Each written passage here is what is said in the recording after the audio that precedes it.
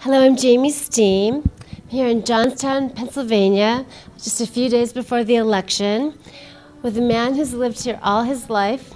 This is Mike Kiel, who um, is going to give us some insight and pers- perspective into his hometown, Johnstown, Pennsylvania. Mike, tell us about the first time that you voted here in Johnstown.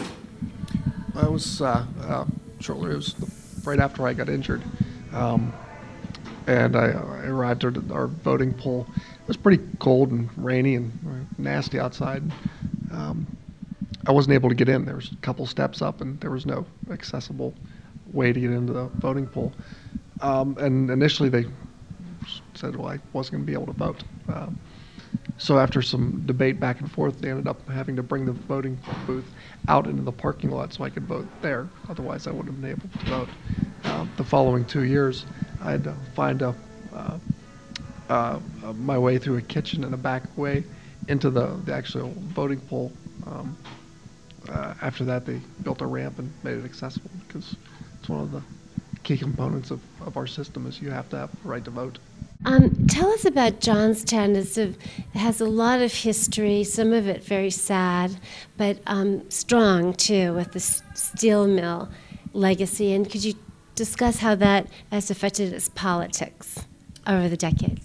Um, it's typically a very democratic area, um, uh, born of steel mills and, and um, uh, rather strong unions uh, intent to protect the workers in those steel mills.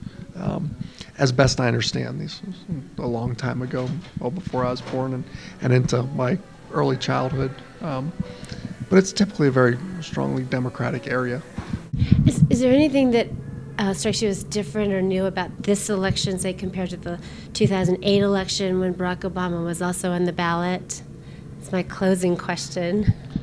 Ah, that's uh, that's a good question. Um, uh, I think people are watching more.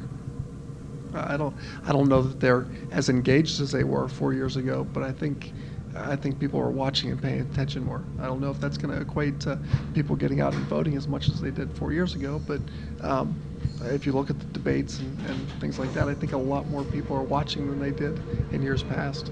Uh, I think that's credited to not only such a tight race, but the uh, uh, the increase in social media and Twitter and Facebook and, and how much smaller the world has become with all this uh, technology we have um, that, that, brings us all closer together because so we're, because we're so much more easily accessed to one another. Mm-hmm. I'm speaking with Mike Kiel in Johnstown, Pennsylvania, and it's very it's delightful to meet you and to be with you. Thank you, Mike. Thanks. It's been fun.